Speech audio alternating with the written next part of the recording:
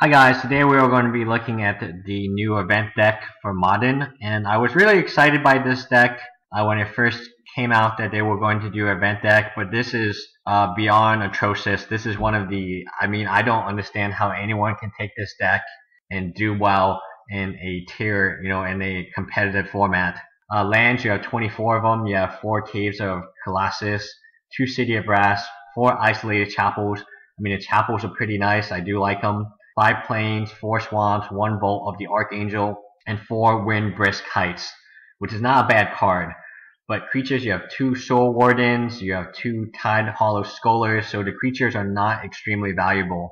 Uh, other spells, Honor the Pure, Inquisition, Intangible Virtue, Lingering Soul, Path to Exile, which is kind of nice, Raise the Alarm, Shrine, Spectral Procession, Sword and Feast and Famine, only one of those, uh, Zealous Persecution, Elspeth Knight Errant, just one of those.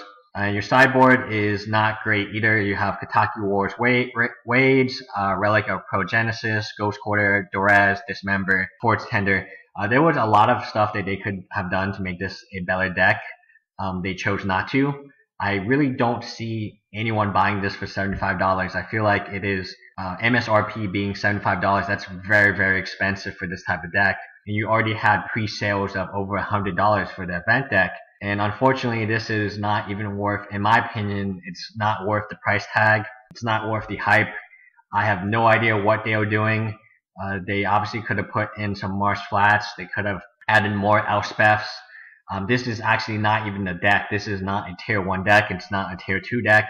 Uh, it's not even a junk deck. It's a deck if you took to a competitive event, you would get blown out completely. So uh, very disappointing, and unfortunately, this is how Magic is right now.